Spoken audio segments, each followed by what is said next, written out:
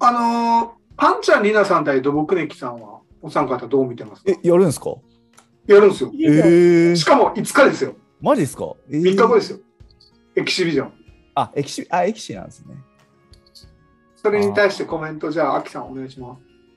コメント、いやもう、エキシビジョンなんで勝敗ないじゃないですか。なんで、本当なんか、多分こう、パンちゃんルナさんとやって、選手とやって、立ってたらすごいなってうん。おー、確かにね。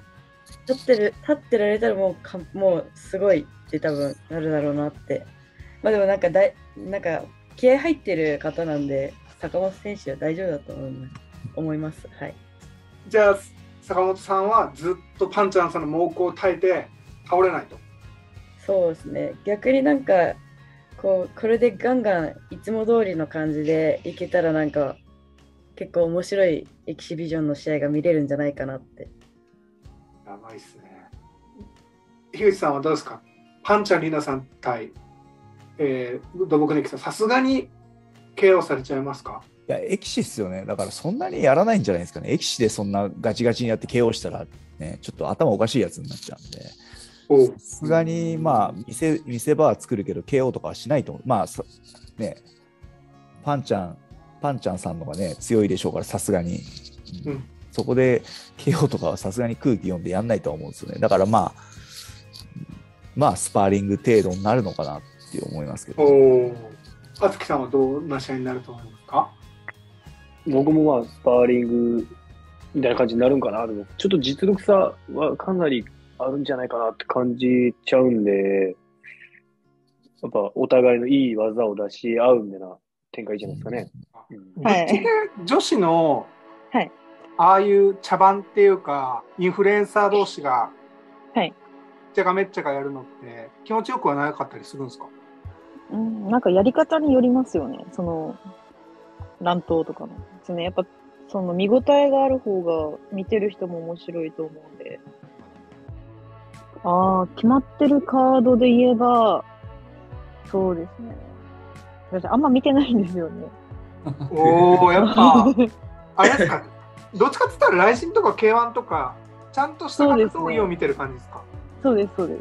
じゃあ、ポーランドさんととかと一緒で、ブレイキングダウンを、ちょっと茶番より、ちょっとこう、真剣な試合を多くしていって、ちゃんとした試合も増やしたいみたいな感じですか？そうですね。そっち路線で私は行きたいんで、やっぱ。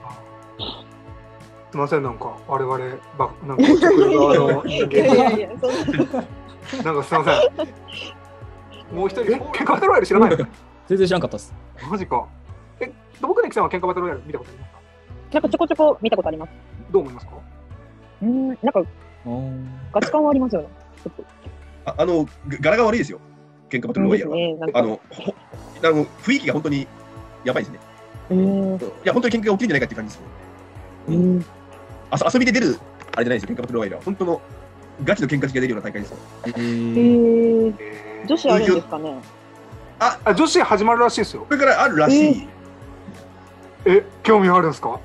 えー、なんかガチだったらちょっとありますね。やばで、でリリリングが狭いんで、はいはい、はい。もうバックステップがほとんどできないんで、もうバックステップもう2本以上多分できないんで、えリングが狭いんーで。だからもう、ま、前へ前へ行かなきゃいけないから、自然的に殴り合いになっちゃうんで、はいはい。えー、土木ネキさん出るならめっちゃ喜ばれると思いますよ。あ、そうなんですかね。すみません、一回抜けていいですか？あ、大丈夫です、大丈夫です。すみません。あ、全然大丈夫です。もうありがたいです。あ、すいません失礼します。本当ありがたいです。はい、ありがとうございます。ありがたいです、本当に。パンちゃん参戦ありますか？ああ、パンちゃんさんってどう思いました？マルさん、オトさん。オトさん、ぶっちゃけアイドルも、これ偏見もあるかもしれないです。申し訳ないですけど、やっぱり売れてない時って大変じゃないですか。